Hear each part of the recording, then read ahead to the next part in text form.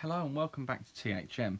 Now on the eve of rounds 4, 5 and 6 at Snetterton, I've got a couple of well respected people in British touring car media and surrounding them to give their thoughts on what we think is going to happen tomorrow. First of all, personally, I'm going to go for Tom Ingram for race 1. I think he will do Colin um, with a bit of his more gung-ho style, whereas Colin's a little bit more conservative.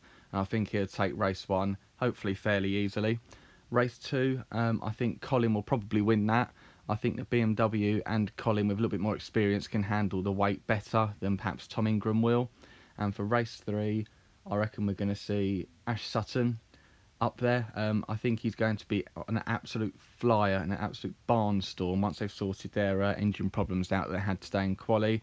So I expect to see him come through on a reverse grid at race three and perhaps snag a win. First up, we're going to hear from our sponsor over at Raceline Designs, which we work in great partnership with. And if you tap in the code THM15, you get 15% off all artwork there. Let's hear from him. Evening all, James here from uh, Racing Lines Designs here in uh, what has been a very, very sunny South Wales uh, today. Um, as for my predictions on rounds four, five and six of the Touring Car Championship for tomorrow at Snetterton, um, I think we're all expecting Gordon Flash Shedden to be rumping away with it, but uh, I think I'm going to go ahead with Tom Ingram for the win, uh, second, and probably Adam Morgan up in, in third.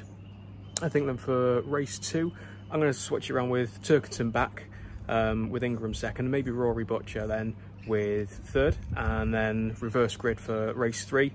Um, I'm going to put money on Jake Hill for the win and uh, see how that goes. Take care. Bye bye. Next up, Kev Whitewood from British Touring Car Chat.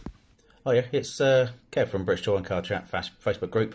Um, been asked to provide my predictions for uh, some of the races tomorrow.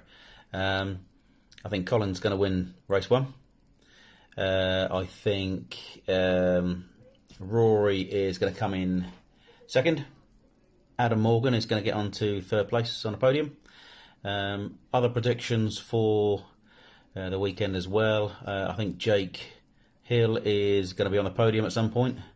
And fingers crossed, Jack Goff is going to get into the top 10, uh, finish in the top 10 penultimately, we have our friends over at Hedgeworks Motorsport, um, who again is a BTCC YouTube channel. So go and check out his great interviews I'm and videos. I'm going to say Ingram is just going to win race one, but he's going to have to do it quick.